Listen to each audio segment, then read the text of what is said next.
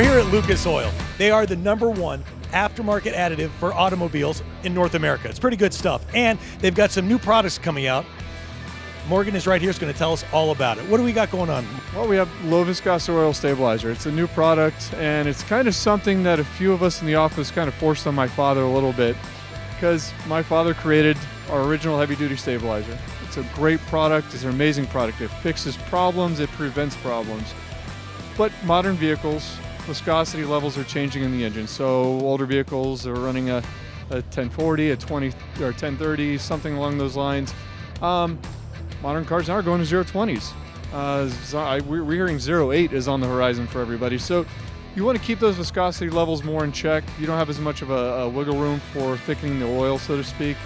Um, and some of our additives might raise that viscosity level up. So we create a product that will kind of accomplish what our original stabilizer has always accomplished, but in the low viscosity engine settings that variable valve timing engines and cylinder deactivation engines need. Um, you're going to eliminate dry starts. You're going to cut friction by almost 40% with this product.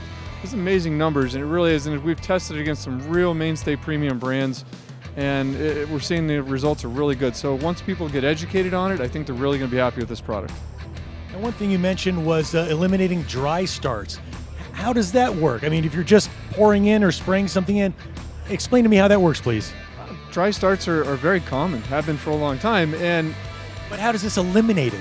Well, film strength.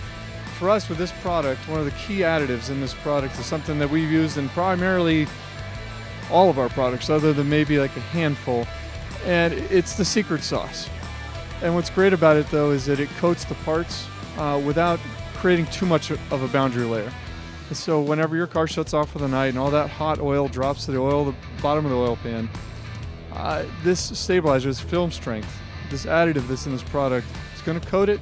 Whenever you go to start the next day, you're not going to have that friction that you would get in that situation and that lag of time between the oil go- when it goes from the pan to the top of the motor and comes back down. So there's a lot of great uh, benefits to that, especially if you want to be that person that's making your car go 100, 150, 200,000 miles and not bat an eye.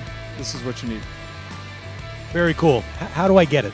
Well, uh, you can get it in the stores, brick and mortar uh, is what we like to call it, right? Or but then you always have the uh, electronic side of things. But we like to encourage people go to your local AutoZone, O'Reilly, Advance, Napa, um, and any other mainstay or even convenience store, and try to find Lucas products there.